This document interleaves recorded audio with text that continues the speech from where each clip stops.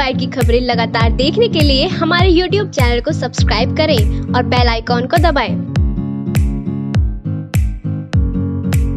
इस खबर के प्रायोजक है जैना ज्वेलर्स आबुलेन मेरठ। नमस्कार, मैं हूँ रवि शर्मा और आप देख रहे हैं फ़र्स्ट बाइट डॉट टीवी नज़र डालते हैं आज की, अब तक की 10 बड़ी खबरों पर। कोविड संक्रमण को देखते हुए यूपी की योगी सरकार ने बकरीद को ध्यान में रखते हुए नई गाइडलाइन जारी कर दी है। इन गाइडलाइन में कई पाबंदियाँ भी जारी रहेंगी।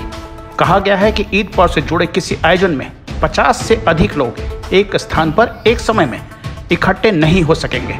गोवंश, ऊँट अथवा अन्य प्रतिबंधित जानवर की कुर्बानी नहीं होगी। कुर्बानी का कार्य सार्वजनिक स्थान पर नहीं किया जाएगा। इसके लिए चिन्हित स्थलों, निजी परिसरों का ही उपयोग हो। स्वच्छता का विशेष ध्यान रखा जाए। 21 जुलाई को बकरीद का त्यौहार मनाया जाएगा। ईद उल अजहा की विशेष नमाज़ सुबह छह बजे से दस बजकर तीस मिनट तक अदा करने की तैयारी है। मेरठ के लिसाड़ी गेट थाना इलाके में जाकिर कॉलोनी निवासी तस्लीम का 10 वर्षीय बेटा कमेले वाले नाले में आज सुबह गिर गया है। उसकी तलाश के लिए कूड़े से अटे पड़े नाले को पहले साफ़ किया जा रहा है। करीब आठ घंटे बाद भी बच्चे का कोई सुराग नहीं लग पाया है। तलाश जारी है। उत्तराखंड में कोविड कर्फ्यू 27 जुलाई तक बढ़ा दिया गया है। इस बीच राज्य में लोगों को इधर से उधर जाने की छूट दे दी गई है। प्रदेश में कैबिनेट मंत्री और राज्य सरकार के प्रवक्ता सुबोध उनियाल ने कहा कि अब उत्तराखंड के अंदर एक स्थान से दूसरे स्थान पर जाने के लिए लोगों को कोविड की नेगेटिव, आरटीपीसीआर या रैपिड एंटीजन जाँच रिपोर्ट की आवश्यकता को समाप्त कर दिया गया है। अब राज्य में दुकानें व अन्य व्यापारिक प्रतिष्ठान सप्ताह में छह दिन सुबह आठ बजे से रात नौ बजे तक खुल सकेंगे। इससे पहले दुकानें खुलने का समय सुबह आठ से शाम सात बजे तक था। वाटर पार्क भी अब 50 फ़ीसदी क्षमता के साथ खुल सकेंगे। संसद के मानसून सत्र की शुरुआत आज से भारी हंगामे के बीच हो गई है। विपक्ष ने पेगासस स्पाईवेयर समेत कई मुद्दों पर सरकार को घेरने की कोशिश की। लगातार हंगामे के कारण दोनों सदनों की कार्रवाई बार बार स्थगित हुई और अंततः कार्रवाई दिन भर के लिए स्थगित कर दी गई। पेगासस स्पाईवेयर के मामले ने सरकार को घेरने के लिए विपक्ष को एक बड़ा मुद्दा दे दिया है। बताया जा रहा है, पेगासस स्पाईवेयर का इस्तेमाल कथित रूप से प्रमुख नेताओं एवं पत्रकारों का फ़ोन टेप करने के लिए किया गया इस हंगामे के कारण प्रधानमंत्री नरेंद्र मोदी संसद सत्र के पहले दिन अपने मंत्री परिषद के नए सदस्यों का परिचय भी संसद के दोनों सदनों में नहीं करवा पाए।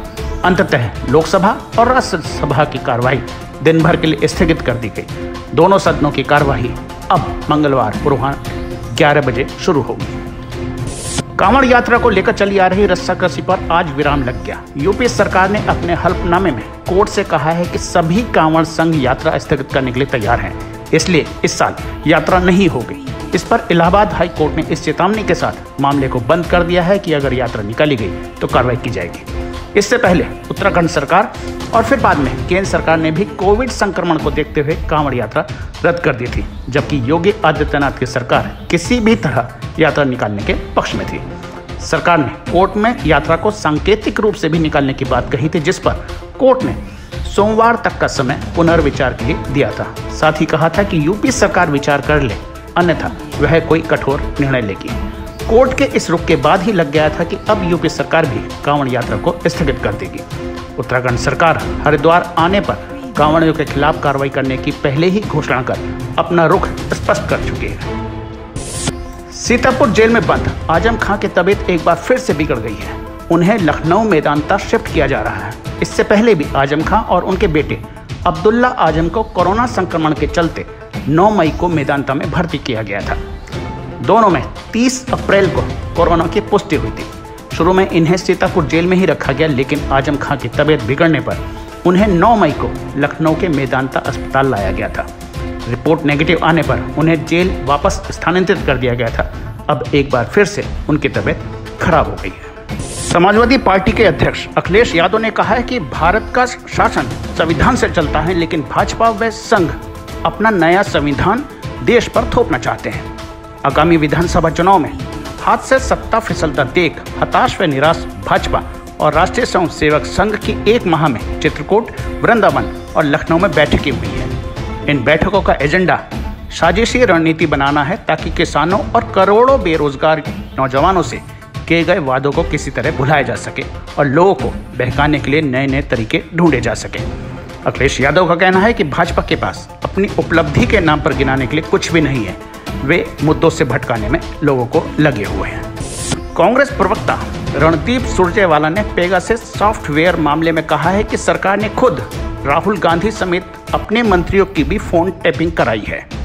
राहुल गांधी समेत देश के नेताओं, पत्रकारों और संविधान पदों पर जासूसी करवाई गई है। इसलिए भारतीय जनता पार्टी का नाम बदलकर अब भारतीय जासूस पार्टी रख देना चाहिए। वहीं सर चार मंत्री अश्वनी वैष्णव ने लोकसभा में बयान में कहा है कि फ़ोन टैपिंग से जासूसी के आरोप गलत हैं। लीक डेटा का जासूसी से कोई लेना देना नहीं है। डेटा से ये साबित नहीं होता है कि ये सर्विलांस हुआ है। फ़ोन टैपिंग को लेकर सरकार का प्रोटोकॉल बेहद सख्त है, लगाए जा रहे आरोप बेबुनियाद हैं। कृषि कानून के विरोध में गाजीपुर बॉर्डर पर बैठे किसानों ने संसद भवन के बाहर मार्च का ऐलान कर दिया है। किसानों ने कहा है कि वे इस दौरान शांतिपूर्ण तरीके से प्रदर्शन करेंगे। किसानों ने अपनी पूरी तैयारी का खाका दिल्ली पुलिस को सौंप दिया है। दिल्ली पुलिस भी लगातार किसानों को समझाने की कोशिश कर रही है, लेकिन किसान दिल्ली पुलिस की कोई भी बात मानने के लिए तैयार नहीं है। वहीं विपक्ष भी किसी कानून को लेकर सदन में चर्चा की मांग कर रहा है। कृषि कानून के विरोध में संयुक्त किसान मोर्चा के बैनर तले करीब 40 किसानों के दल विरोध प्रदर्शन कर रहे हैं। हर दल से पाँच किसान संसद मार्च के लिए जाएँगे, यानी कुल 200 किसान प्रतिदिन संसद मार्च में शामिल होंगे। इस बुलेटिन में फ़िलहाल इतना ही। कोरोना की रफ्तार अवश्य धीमी पड़ी है, लेकिन यह अभी खत्म नहीं हुआ है। तीसरी लहर को आने से रोकने के लिए हमें अभी से सतर्कता बरतनी होगी। सरकारी गाइडलाइन का पालन करें। जब तक ज़रूरी न हो, घर से न निकलें। घर पर रहें सेफ़ रहें। देखते रहिए फ़र्स्ट बाइट नमस्कार।